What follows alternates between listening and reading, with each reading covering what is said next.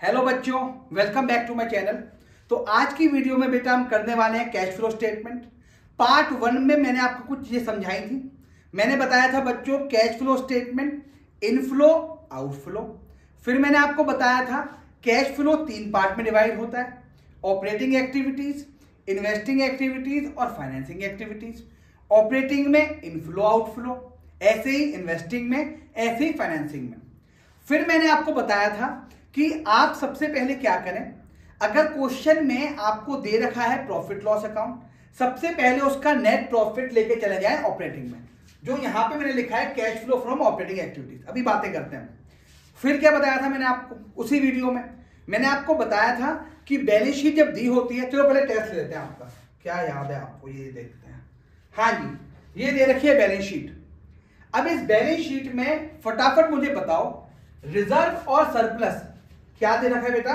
Reserve and surplus देखो बेटा, खत्म भी हो गया। चलो जी, ये सिंपल बात कर लेते हैं। ये है हमारा रिज़र्व हाँ जी बच्चों तो रिज़र्व आपका अगर दे रखा है रिज़र्व किसका पार्ट होता है बेटा? मैं ऐसे बनाऊँगा, आगे ऑपरेटिंग तो अगर क्वेश्चन में रिज़र्व दे रखे हैं ओपनिंग में दे रखा है एक लाख क्लोजिंग में दे रखा है पचास हज़ार, या क्लोजिंग में दे रखा है दो लाख तो एक लाख से बढ़ गया, आप अपना ऑपरेटिंग जाके प्लस कर दें। एक लाख से पचास हज़ार हो गया लॉस हो गया माइनस कर दें ठीक है जी?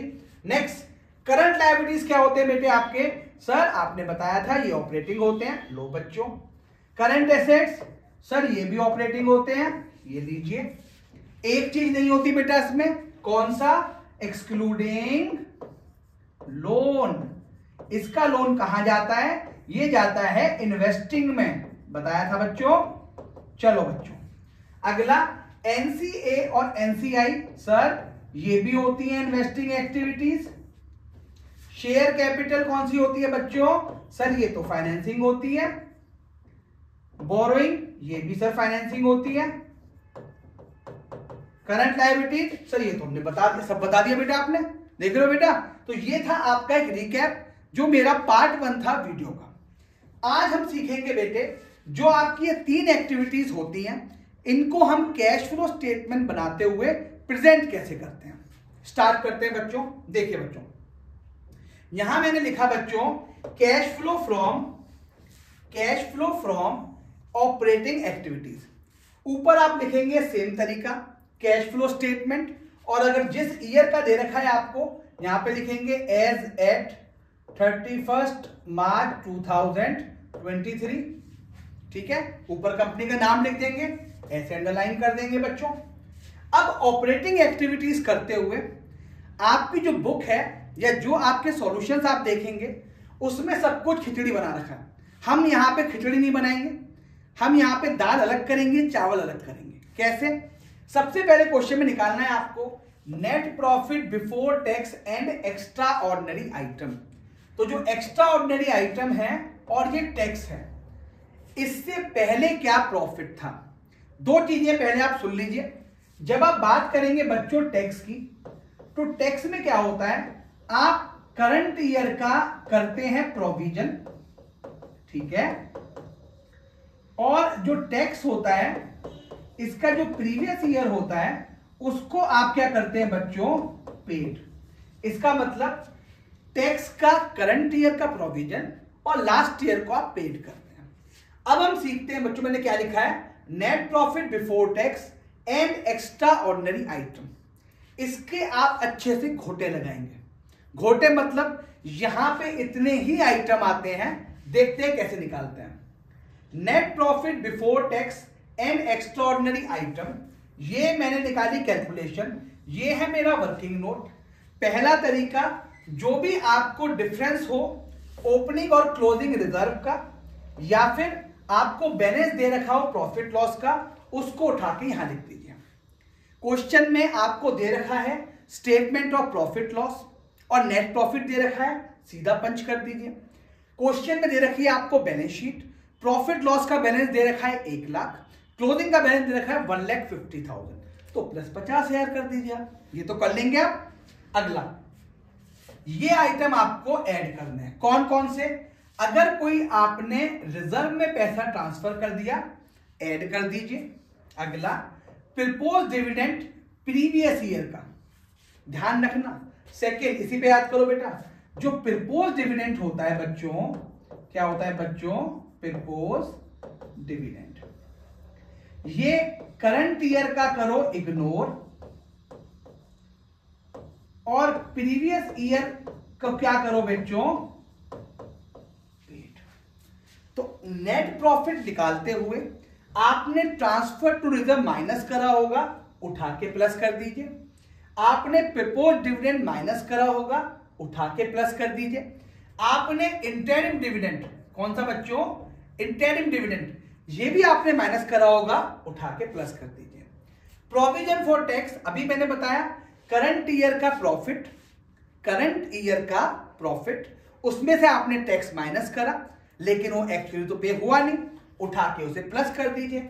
और कोई भी एक्स्ट्रा ऑर्डिनरी आइटम जो डेबिट में आ रहा है स्टेटमेंट ऑफ़ प्रॉफिट लॉस के, उसको यहाँ पे लेके आ जाइए। क्यों? हम यहाँ पे बच्चों बना रहे हैं net profit before tax and extra ordinary items ठीक है जी? ये पाँचों आइटम आपने प्लस करे। सर, ये मुझे याद करने हैं। हाँ जी, याद करने हैं। सर ने भी करें, आपको भी करने हैं। ट्रांसफ़र टू रिज़र्व फिर सुनो। Propose dividend interim dividend propose dividend पहले वाला provision for tax current year और एक्स्ट्रा ऑर्डनरी आइटम जो डेबिट में है। लेस क्या करने हैं बेटा? कोई इनकम में प्रॉफिट लॉस के आइटम क्रेडिट है, उठा के माइनस कर दीजिए। क्यों? गलती से उसने आपकी इनकम को बढ़ा रखा है, कम कर दें। और रिफंड अगर आप टैक्स ले रहे हो तो वो भी क्या कर दें? माइनस इससे निकलेगा बच्चों आपका net profit before tax and extra ordinary item कितने आइटम है बेटा? सात।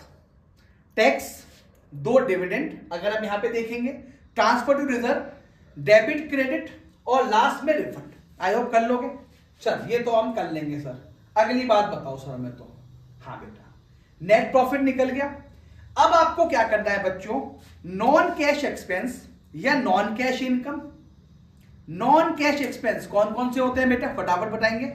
आपने प्रॉफिट लॉस में खर्चा पड़ा था डेप्रिसिएशन क्या उसमें कैश चला जाता है? नहीं। जब कैश गया ही नहीं प्रॉफिट ले रहे हो आप ऑलरेडी माइनस कर रहे हो, उठा के प्लस कर दो। एमोटाइजेशन एमोटाइजेशन क्या होता है बेटा आपका? एमोटाइजेशन इसमें क्या आपके पास से पैसा गया? नहीं गया। उठा के प्लस कर दीजिए आप। और प्रॉफिट या loss on the sale of investment fix assets इसमें भी पैसा नहीं जा रहा आपका। तो मैंने बच्चों क्या करा, देखो ऐड करना है आपको non cash and non operating expense पहला डेप्रिसिएशन दूसरा एमोटाइजेशन ये और तीसरा लॉस ठीक है? अब इंटरेस्ट पेड इंटरेस्ट पेड क्या होता है बेटा? ये है आपकी फाइनेंसिंग का खर्चा। यानी जितना भी आप इंटरेस्ट पे करते हो, ये फाइनेंस का आइटम होता है। यहाँ पे उठा के क्या कर दो बच्चों? ऐड कर दो। और अब आप करेंगे इनकम देखिए बेटा इनकम इंटरेस्ट डिविडेंड और रेंटल इनकम क्योंकि ये है आपकी इन्वेस्टिंग ये क्या लिखता हूँ बेटा? ये है मेरा फाइनेंसिंग का आइटम और ये है मेरा इन्वेस्टिंग का आइटम अगला, यहाँ पे प्रॉफिट है और यहाँ पे लॉस है on the sale of fix assets अगर प्रोविज़न इंक्रीज हो रहे हैं तो प्लस कर दो, और डिक्रीज हो रहे हैं तो माइनस कर दो। इससे निकलेगा आपका operating profit before working capital changes hi sir ये तो बहुत सारे आइटम हो गए। सर क्या मुझे याद करने पड़ेंगे? बेटा, याद नहीं सीक्वेंस में याद करने पड़ेंगे। सबसे पहले नेट प्रॉफिट में सात आइटम आते हैं, इसका अच्छे से घोटा लगाओ।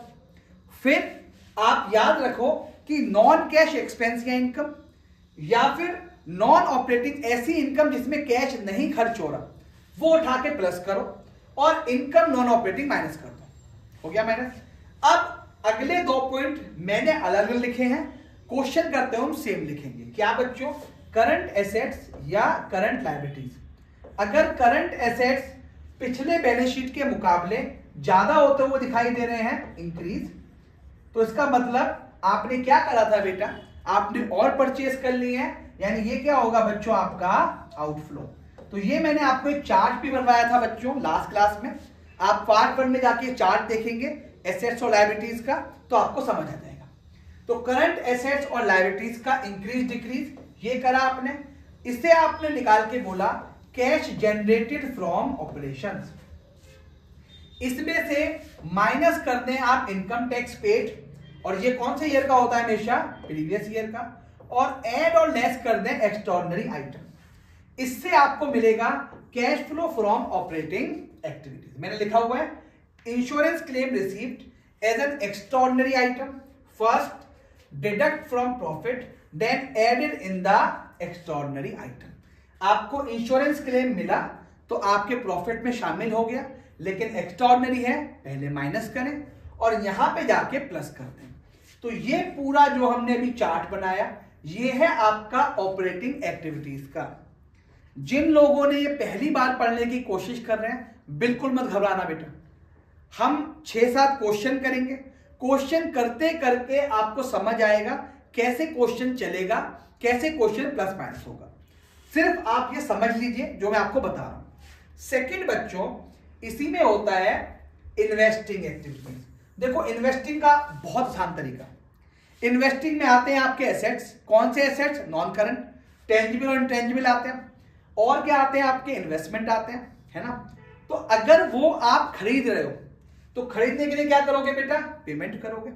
और अगर उन्हें आप बेच रहे हो, मैंने एसेट्स बेच दिया फर्नीचर बेच दिया मशीन बेच दी तो proceed from the sale sale of investment या फिर फिक्स एसेट्स पैसा प्लस हो गया, दिखाई दे रहा है। अगला लोन एंड एडवांस रीपेमेंट और अगर आप देखोगे बेटा लोन गिवन तो अगर आप क्या करते हो बच्चों? अगर आप परचेज करते हो फिक्स एसेट्स परचेज करते हो इन्वेस्टमेंट और किसी को आप लोन दे देते हो। मैंने अपने एक किसी भाई को लोन दे दिया तो पैसा चला गया। तो अगर चला गया माइनस करंट एसेट्स में ये एकमात्र ऐसा आइटम है जो यहाँ पे दिखाई देता है आपको। ठीक है? इसी तरीके से जब फ्लो करोगे आप तो लोन एडवांसेस ये आपको रिसीव हो गया। अगर रीपेमेंट आपको रिसीव हो रही है।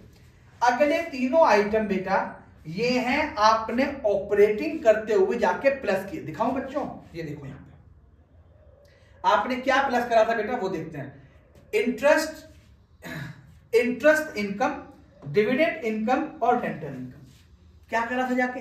माइनस क्या मैंने बताया था? इन्वेस्टिंग एक्टिविटी तो देखेंगे बच्चों, क्या आ रहा है? सर वाह ये तो आ रहा है रेंट रिसीव्ड डिविडेंड रिसीव्ड और इंटरेस्ट रिसीव्ड क्या होगा मतलब? याद रखेंगे दिमाग में से बना देते हैं अच्छे बच्चों की तरह से स्टार क्या हो गया मतलब? यहाँ पे जाके प्लस करो और ऑपरेटिंग में जाके माइनस कर तो क्या किया बेटा इन्वेस्टिंग एक्टिविटीज़ में हमने? अगर एसेट्स बेचते हुए पैसे आए प्लस इन्वेस्टमेंट बेचे, पैसे आए प्लस रेंट रिसीव्ड प्लस किसी को लोन दिया था, वापस आया प्लस डिविडेंड आया प्लस रेंट और उसके अलावा इंटरेस्ट आया प्लस कर दिया। क्या माइनस करा?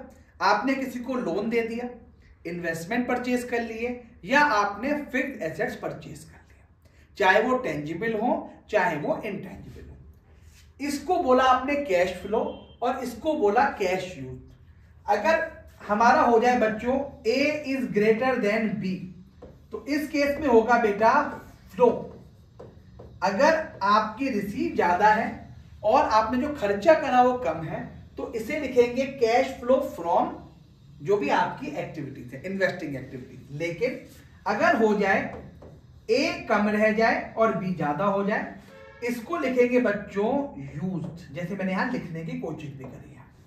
तो फिगर आपके यहाँ पे माइनस में आएगी। ओके नेक्स्ट एक्टिविटीज़ पे आते हैं बच्चों। Next is financing activities financing activities में अगर आप याद करें जब मैंने आपको पीछे बैलेंस शीट पढ़ाई थी शेयर कैपिटल और बोरोइंग्स ही आए थे। इसका मतलब जब आप शेयर इशू करते हो, जब आप डिवेंचर इशू करते हो प्रेफरेंस शेयर इशू करते हो, तब पैसा आपके पास आएगा। या फिर, आपने क्या किया था बेटा, किसी से लोन ले लिया।